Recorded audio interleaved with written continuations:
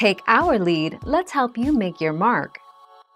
Our goal is your satisfaction. Let us show you the way. Your Chihuahua could act calm and collected around other dogs and people, as long as you train them to do so from a young age. Proper training and conditioning could eliminate any shaking issues that your Chihuahua could experience otherwise.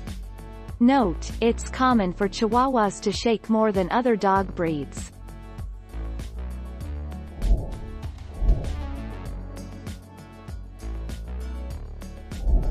Let's help you make your mark. For all their sass, most Chihuahuas enjoy an abundance of lap time and do not enjoy spending too much time outdoors. They are widely known to gravitate toward one person and reject new people, but that may be because dogs are more inclined to like those that are more in sync with their own personality. 28 March 2018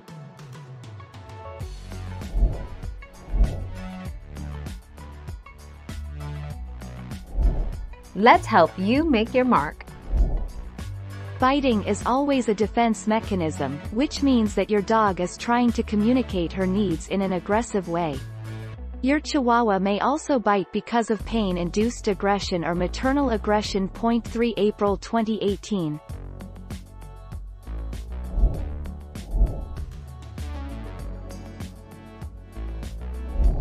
Let's help you make your mark. If your chihuahua is making noises that can be described as a honking sound, this can point to collapsed trachea. The dog may also appear to gag, struggling to breath and making a wheezing sound as if the he is having trouble with the airway.